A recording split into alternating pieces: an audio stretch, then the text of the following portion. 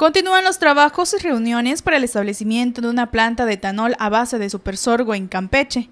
Este martes arribaron a la ciudad el presidente Eiji Ikeata y el vicepresidente ejecutivo Kasao Yamauchi de la empresa Super Sorghum México SADCB, quienes informaron que el proyecto se encuentra en la etapa de ubicación de las áreas óptimas para iniciar con el cultivo del super sorgo. Eh, nuestro propósito es para Pensamos hacer eh, unas parcelas demostrativas experimentales del cultivo de, lo que, de la planta super sorgo aquí en Campeche. Nuestra visita de, hoy es, es solamente de un día. Eh, y el lugar de la plantación aún vamos a, vamos a discutirlo ahora. ¿Esto es para la planta de etanol que se había comentado aquí en Campeche?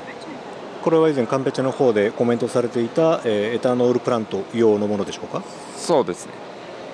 Exactamente. La empresa Super Sorghum México SADCB tiene como finalidad introducir el cultivo del super sorgo en el país y ofrecer alternativas a las demandas de producción, materias primas para combustibles y materias primas para la industria de alimentos. El presidente Eiji Ikeata y el vicepresidente ejecutivo Kasao Yamauchi no brindaron más detalles del proyecto, pues este avanza con paso firme a través de su correcto análisis para ser puesto en marcha lo antes posible. Aún no hay esto, cosas específicas. Eh, creo que son asuntos a ser tratadas eh, de ahora en. Eh, ah, desde ahora es para adelante, ¿no? Aún no han sido. los detalles aún no han sido especificados. Con imágenes de Leonardo Cámara, Cristel Q, Telemar, Noticias.